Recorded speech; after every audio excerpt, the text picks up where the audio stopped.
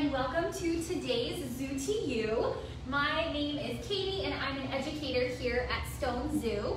And today I am so excited to be introducing all of you to my friend Kupa here.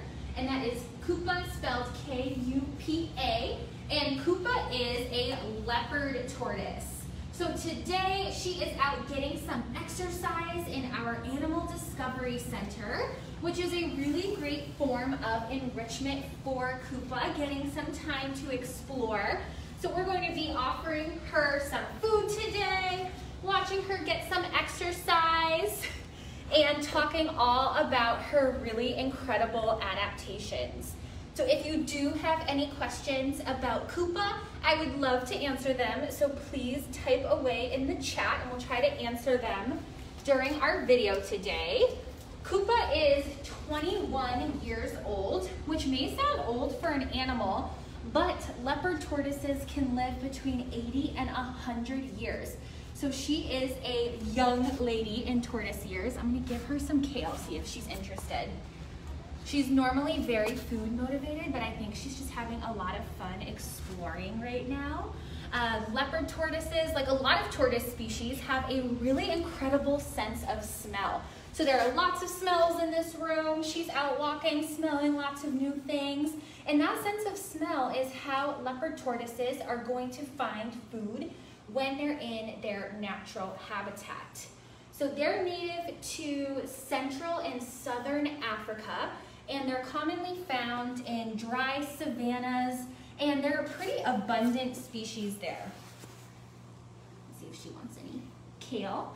Um, so in their natural range, they're going to be eating lots of grasses, flowers, and even succulents and cacti.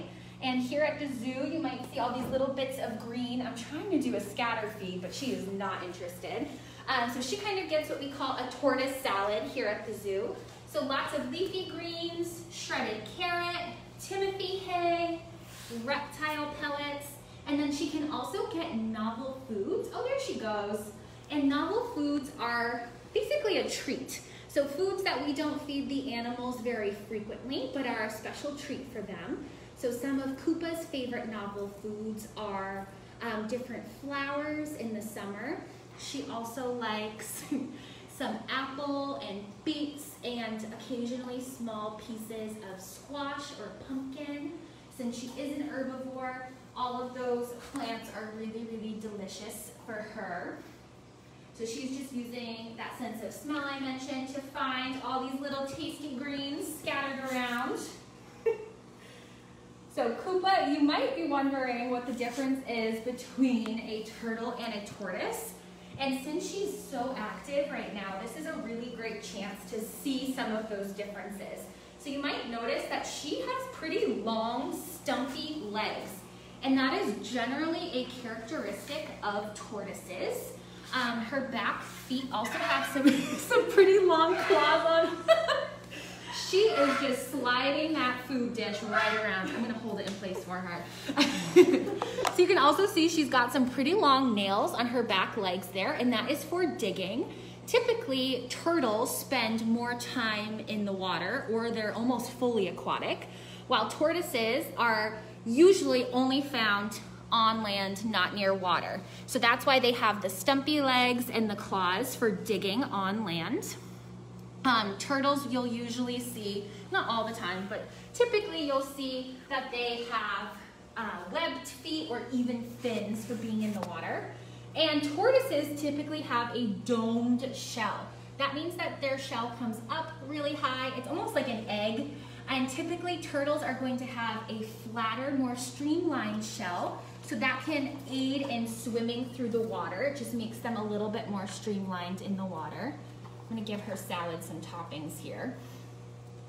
So you can see she also gets some dry Timothy hay. That helps with her digestion, um, helps give her lots of healthy fiber, and she is very food motivated. She is chowing down on her breakfast today. uh, so one of my favorite adaptations about leopard tortoises um, are their defense adaptations. So we know that when turtles or tortoises are scared, that they can tuck their arms and legs in their shell and they can tuck their head in their shell. You'll see that Kupa has lots of really thick scales on her arms here, and that's like tortoise armor. So if she's really scared, she'll tuck her head in and then draw those arms up over her head to protect her. But leopard tortoises have another really cool adaptation. It's a pretty gross one. It's really fascinating. Um, so when they're in their natural range and eating lots of fresh plant matter that has lots of water in it, so even all this kale and leafy greens has lots of water in it, they have the ability to store that water in sacs in their abdomen. And these sacs in their abdomen can get really, really big and it takes up almost their entire abdomen.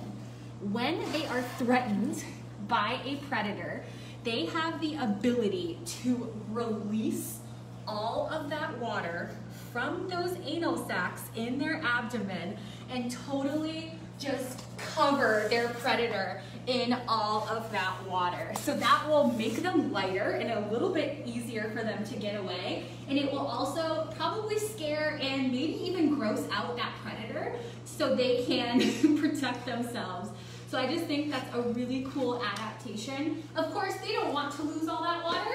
Um, that is there, just like a camel's hump serves a purpose. That's there in case resources are hard to come by and they need to you know, use some of that water that's stored up within their body. Their primary defense is going to be camouflage, and that's how they get that name leopard tortoise. You'll see all of these brown, black, tan, and yellow spots all over Kupa's body. Um, so just like a leopard spots, that's how they get their name leopard tortoise, and this just helps them blend into that really dry and arid savanna that they are native to. And Rachel, have we had any questions come in that I could answer? Uh, yes. Are they endangered? Was one of the questions. That's a good question. So they are not an endangered species. However, most species of tortoises are threatened by habitat loss and degradation. Um, so that's true for leopard tortoises as humans encroach more and more on their habitat, it's just a little bit harder for them to find places to live. Um, another threat to leopard tortoises is the pet trade. And that's true for other species of tortoise as well. They are very popular pets. Um, however, as I mentioned earlier, they can live 80 to 100 years. So it's really important if you do decide to get an animal like a tortoise or a turtle as a pet to do your research, look at their lifespan, and make sure that you can take care of that animal for their entire life. Just like with a lot of macaw species, people with these tortoises often have to write them into their wills because they will typically outlive their owners, which is really amazing. Um, so they don't make the great the greatest pets. If you do decide to get one as a pet, another pointer would be to do your research and to make sure that the animal you are getting as a pet was born under human care and was not illegally taken from the wild, since that is a threat to them. And Jacqueline was wondering, how long does Kupa sleep for? That's a good question. So Kupa is primarily crepuscular, um, so that means she's usually active between dawn and dusk. Um, she does sleep, she's on a more like diurnal schedule, just like we are. So she does sleep a lot at night. Um, she does have like lots of balls that she plays with as enrichment items. And I've seen her sleeping with her head resting on them, which is really, really cute. Um, so she does snooze quite a bit. She'll probably take a nice long nap after getting all this exercise today.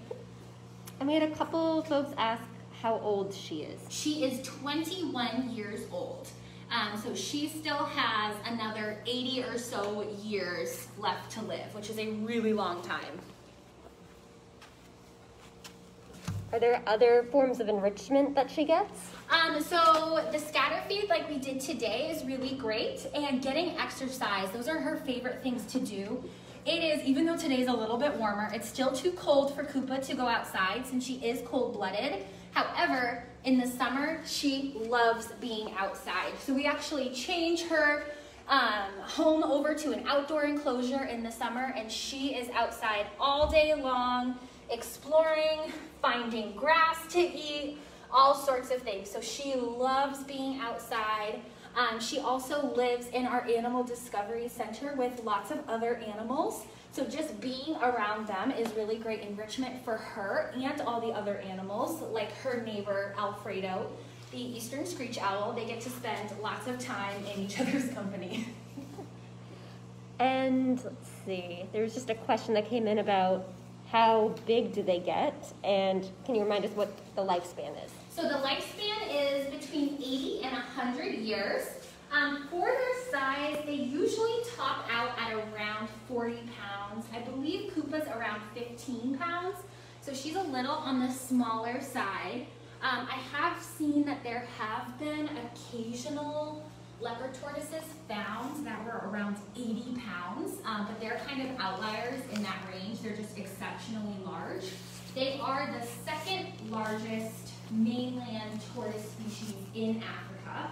Um, they're second to African spur-thighed tortoises, which you can see on exhibit at Stone Zoo once it gets warmer out. Um, we have three males here, so you can see the largest, and here on Facebook Live today, you can see the second largest in Africa. Great, I think we have time for one more, and Jacqueline asked if she likes to be pet. Uh, that's a good question, Jacqueline. So some of her caretakers here have found kind of like the tortoise scratchy spot on Kupa. She doesn't do it for me. Um, so tortoises and turtles can feel anything as light as a feather touch the outside of their shell. So she can feel me touching. Occasionally with tortoises, you can find a spot on their shell kind of near the back that feels really good, just like scratching a dog's behind. You can kind of scratch a tortoise's and they'll do the tortoise wiggle and kind of wiggle their butt all over the place. She's not doing it for me right now. So I don't have the special touch, but some of our caretakers do, and I've seen her do her little wiggle for them, and that's just um, some body language showing that it feels really good, um, kind of scratching her back. So I would say she does enjoy being pet. Great. I think that's all the time all we right. have. Well, thank you all so much for joining us today. Please make sure to check back for our next live Zoo to You. Bye.